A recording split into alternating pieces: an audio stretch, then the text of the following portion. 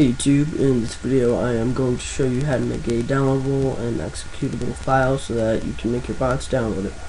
Alright, now it does have to be a file, it cannot be a folder, but it can be any extension such as .rar, .exe, .bat, VBS, all that kind of crap.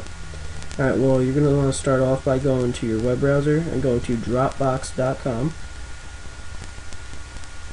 and could really care less about that. Alright, uh, so once you're there, you click download Dropbox and it will open up an installation which is pretty simple. I do not need to go through it with you. Alright, so once you've done so, you're going to go to your little test tray or whatever that is down there. And you should see this little symbol here. You double click it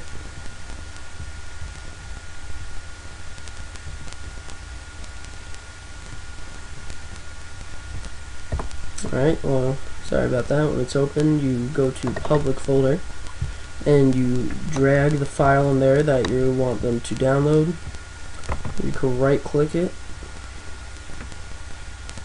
and go to Dropbox, copy public link, and then you paste that in the URL section. And I am going to show you an example. Let's see, I'll use this bot.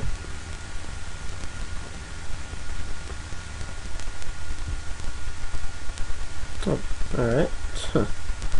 Don't know what happened there, sorry. Copy public link. And then you go into your booter.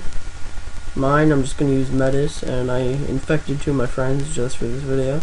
You go to all servers, file URL, well if you're using Metis, if you're using another one it might be different, and then paste the link in there, and then click, well, choose where you want it to save to. Shouldn't be that many selections, probably just app data or temp.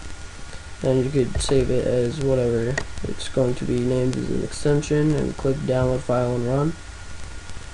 And then, yeah, that's all you have to do. It will automatically download the file on their computer. Now, I am tired as hell, so I'm probably not going to be on YouTube that much, checking anything, but I will be on AIM. So if you guys want to aim me, I will put my aim in the description. So I will IM you guys all the time. And I will just send, you know, regular messages to you. Alright, so if you guys need any help, that'd be good. Alright, YouTube, well, see you guys in the next video. Peace out.